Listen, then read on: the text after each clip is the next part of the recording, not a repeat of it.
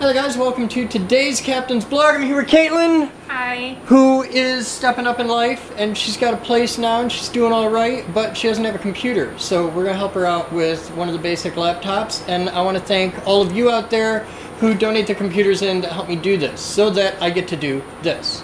This is for you. Thank you.